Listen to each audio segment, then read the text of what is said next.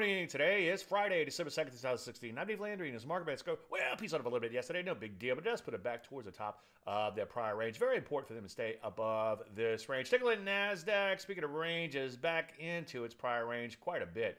And in fact, ideally, you want to see this index rally sooner rather than later and get back above that range. Russell, so far looking pretty good in here. Down a little yesterday, but so far just kind of pull it back. In fact, looks like it could use a pullback based on its overbought nature. That would actually be healthy for the market. Some areas continuing to implode in here. Foods banging out new lows. And take a look at bonds. A little concerning here because we did hit new lows in bonds. So that's going to put a little pressure, uh, push interest rates higher, which could put a little pressure on stocks. Certain areas like banks and other financial related areas like insurance actually banging out new highs in here. So, so far, so good there. Some areas like technology, especially like the semis, corrected to here, like the NASDAQ itself. But so far, they still look okay because they're above their prior range. So this could actually be a buying opportunity, but obviously you want to wait for entries. Look for TKO type of setups.